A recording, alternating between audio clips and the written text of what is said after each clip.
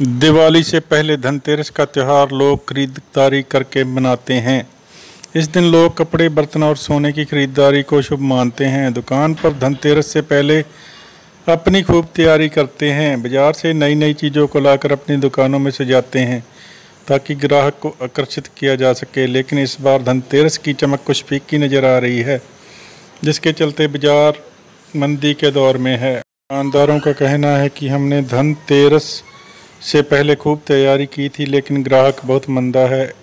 इक्का दुक्का ग्राहक ही खरीदारी करने आ रहे हैं। हर वर्ग की दुकानदारी इस वक्त मंदी के दौर में चल रही है, जिसके कारण त्योहारों में बहुत कमी नज़र आ रही है। इस साल यही शेड्यूल सामने नज़र आ रहा है। ना तो सोने की बिक्री हो रही है, ना ही बर्तनों की धनतेरस से। कुछ दिन पहले ही लोग खरीदारी करनी शुरू कर देते थे, लेकिन इस बार इक्का दुक्का ही ग्राहक बाज़ार में नज़र आ रहे हैं। ਹਰਵਿੰਦਰ ਸਿੰਘ ਕੀ ਖਾਸ ਰਿਪੋਰਟ ਇੰਡੀਆ ਕ੍ਰਾਈਮ ਨਿਊਜ਼। ਕੀ ਨਾਮ ਕਰ ਹਾਂਜੀ। ਕੀ ਨਾਮ ਜੀ? ਮੇਰਾ ਨਾਮ ਕਾਲੂ ਰਾਮ। ਇਹ ਦੱਸੋ ਕਿੰਨੀ ਕੁ ਤੇਜ਼ੀ ਐਤ ਕੀ ਧਨਤੇਰਸ ਤੇ ਕਿੰਨਾ ਕੁ ਅਹ, ਵਪਾਰ ਚੱਲ ਰਿਹਾ? ਐਤੀ ਤੇ ਹੈ ਮੰਦਾ ਹੀ ਹੈ ਜੀ ਮੰਦਾ ਹੀ ਚੱਲਦਾ ਕਾਰਨ?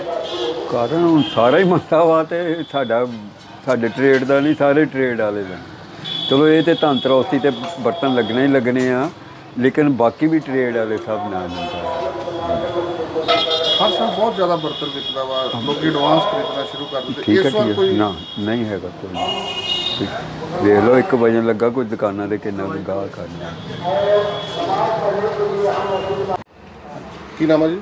ਨਵਨੀਤ ਅਬਰੋਲ। ਨਵਨੀਤ ਜੀ ਹਰ ਸਾਲ ਧਨਤੇਰਸ ਤੇ ਲੋਕ ਭਾਂਡਾ ਖਰੀਦਣੇ ਨੂੰ ਸ਼ੁਭ ਮੰਨਦੇ ਆ। ਹਾਂਜੀ ਹਾਂਜੀ। ਤੁਸੀਂ ਕਿੰਨੀ ਕੁ ਤਿਆਰੀ ਕੀਤੀ ਔਰ ਕਿੰਨਾ ਕੁ ਗਾਹਕ ਆ ਬਾਜ਼ਾਰ 'ਚ? ਦੇਖੋ ਜੀ ਤਿਆਰੀ ਦੇ ਦੁਕਾਨਦਾਰ ਨੇ ਹਮੇਸ਼ਾ ਕਰਨੀ ਹੁੰਦੀ ਹੈ ਕੋਈ ਵੀ ਵਪਾਰੀ ਹੋਏਗਾ ਤਿਆਰੀ ਕਰੇਗਾ।